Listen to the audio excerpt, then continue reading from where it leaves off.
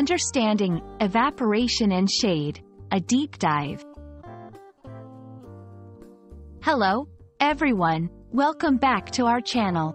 Today, we're going to explore a fascinating phrase that often puzzles English language learners.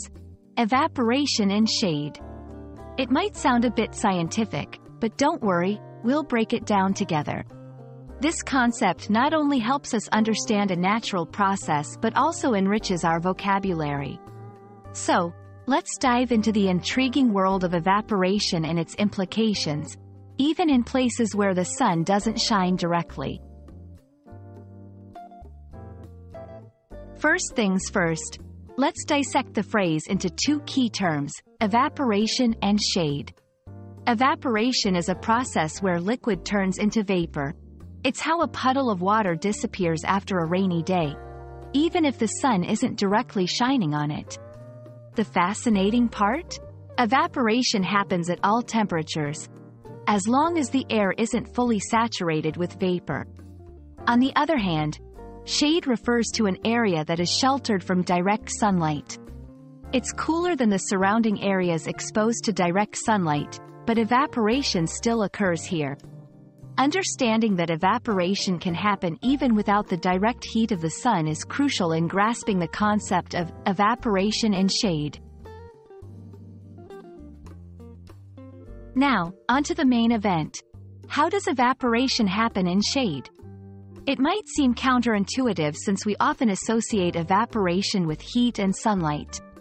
However, several factors contribute to evaporation in shaded areas.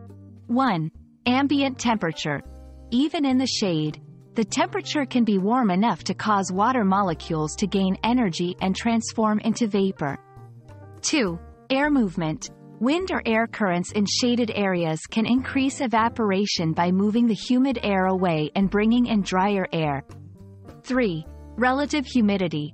Low humidity in the surrounding air encourages evaporation, even in the absence of direct sunlight.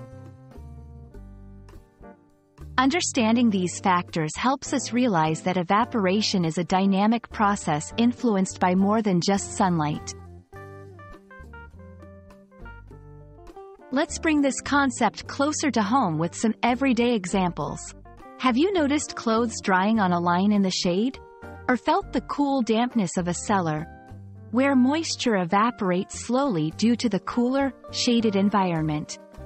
These instances illustrate that evaporation and shade is an ongoing process that affects various aspects of our daily lives, highlighting the importance of understanding the principles behind it. We hope this deep dive into evaporation and shade has illuminated this fascinating process for you. It's a reminder of how nature's wonders continue around us, often unnoticed, and enriches our understanding of the natural world. If you found this explanation helpful, consider subscribing for more insights into the English language and its nuances. Thank you for watching, and we hope to see you in our next video.